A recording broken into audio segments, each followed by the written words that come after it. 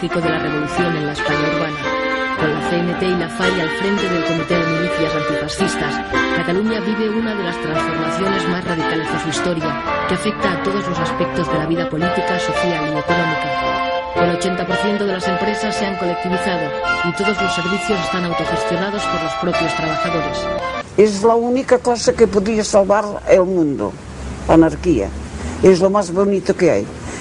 Cada cual, trabajar todo el mundo, ni amos ni patrones. Es el intento de los obreros de organizarse eh, para conseguir económica y socialmente una sociedad mejor dentro de la cual a un poco largo plazo está la autogestión, o sea, la capacidad obrera para asumir eh, todas las funciones que ahora tiene el Estado.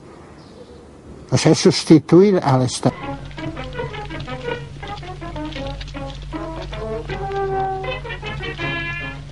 Con las fábricas y comercios en manos de los trabajadores, la CNT, el sindicato anarquista, el anarcosindicalismo es el medio por el cual los propios obreros, junto con los técnicos, autogestionan las fábricas, decidiendo en todos los aspectos los problemas de la producción.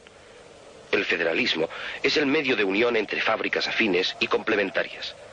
Las comunas agrícolas son el medio para la realización de la libertad y la igualdad entre los campesinos. Comunas, a su vez, federadas entre sí.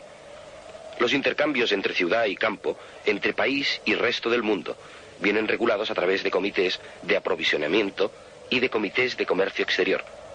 Se construye así una nueva sociedad que parte de lo más simple para llegar a lo más complejo, que parte de abajo y se autoorganiza, es decir, una sociedad sin Estado. En efecto, todas las funciones tradicionalmente desempeñadas por el Estado son asumidas por el proletariado. El ejército, abolido, es sustituido por el pueblo en armas, las milicias voluntarias. Los ministerios suprimidos son sustituidos por la Federación de los Productores. Autonomía local de los productores y federalismo. Solidaridad y autodisciplina en lugar de leyes. Policías y magistrados sustituidos por la vigilancia revolucionaria de los trabajadores. En las regiones libres, la solidaridad entre la ciudad y los pueblos se organiza rápidamente. Las colectividades se reúnen en federaciones cantonales que practican el apoyo mutuo y que hacen todo cuanto está en su mano para contrarrestar las injusticias de la naturaleza, obteniendo para los pueblos menos favorecidos maquinaria y suministros. Es interesante observar también la ayuda que proporciona una región a otra en la organización de la colectividad. El viejo sueño anarquista de crear colectividades rurales se convirtió en realidad en Aragón. Todas las formas de producción pasaron a manos de la comunidad. Las colectividades rurales estaban dominadas por los anarquistas. Gran parte de la economía catalana estaba en manos de los trabajadores. En Barcelona, comercios e industrias, los tranvías, hasta los cines y restaurantes habían quedado bajo el control de comités de trabajadores.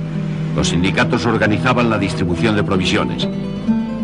Camiones de los sindicatos iban a los pueblos para canjear todo tipo de productos por comida. Para los anarquistas el dinero era la encarnación del mal y en algunos sitios quedó inmediatamente abolido. Las amas de casa iban a la compra con bonos del comité. La mercancía que teníamos y además un pueblo que no es, que no da, no da trigo, pues Venimos veníamos a Levante y lo cambiamos por azúcar. Pues teníamos la fábrica de azúcar, pues había una cosecha ya. Y de allí nos llevábamos chocolate y cosas, intercambios. Ya con el carbón ya se traían mercancías de, calzado, de, de, vestidos, todo eso para el pueblo, y ya se traían de, de afuera. Se nombraba cada pueblo una delegación representativa de cada pueblo y allí se construyó en Benicarló, digamos, la Federación de Colectividades. Tras la expropiación espontánea de tierras y fábricas, bajo la organización de la Central Anarco-Sindicalista, Alcoy se convierte en un ejemplo de autogestión obrera con las industrias colectivizadas en su totalidad. Se crea el CLUEA, el Consejo Levantino Unificado de la Exportación de Agrios, encargado de coordinar directamente desde las colectividades la venta al extranjero. Muy pronto este organismo nacido de la revolución. En el extranjero ya teníamos, en París, en Bruselas, en, eh, en, en, en, Holanda, en fin, todas esas cosas. Todo aquello funcionó perfectamente y cada vez mejor, cada vez mejor.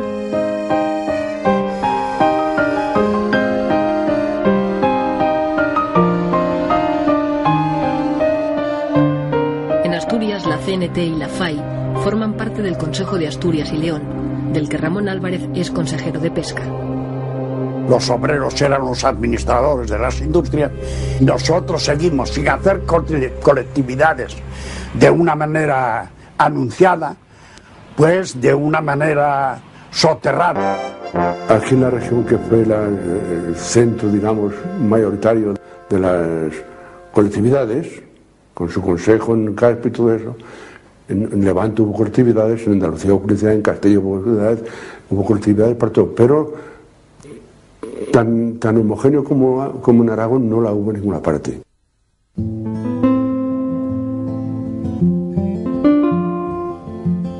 La revolución social que vive la España rural consigue el apoyo mayoritario de los campesinos. Allí pues había una pizarra en el sindicato grandiosa y cualquier trabajador, una queja que tuviera, la, la apuntaba en la, en la, pizarra y en la asamblea se discutía aquello. El exponer uno una cosa era ponerlo, digamos, eh, en armonía de los demás si aceptaban aquel, aquella proposición. Si se, si se acordaba bien, si no se acordaba, pues otra cosa, ¿verdad? Pero siempre desde la base.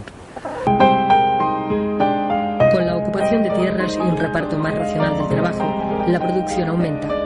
La gestión colectiva de los beneficios permite la construcción de hospitales, escuelas, acequias, granjas y centros de experimentación agrícola.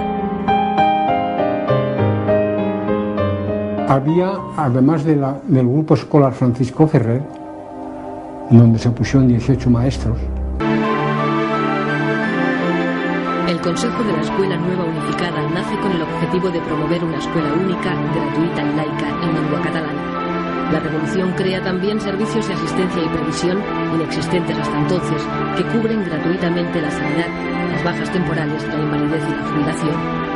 Se lucha contra el paro aumentando los puestos de trabajo o contratando nuevos trabajadores, aunque no sean necesarios, para repartir el trabajo entre todos.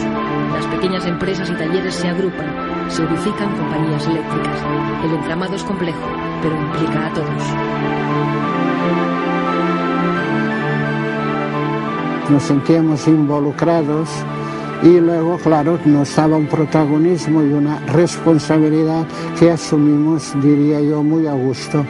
En las asambleas lo, que se discutía, no tú que serás, yo que seré, sino cómo mejorar la producción, cómo el trabajo organizarlo mejor, cómo quitar eh, intermediario entre una acción y otra, porque claro, una fábrica es compleja.